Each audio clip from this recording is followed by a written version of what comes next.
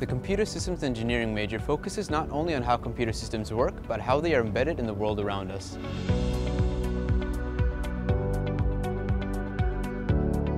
From smartphones and kitchen appliances to life-saving medical devices, computer systems engineers learn about hardware and software as well as how they relate to and impact one another.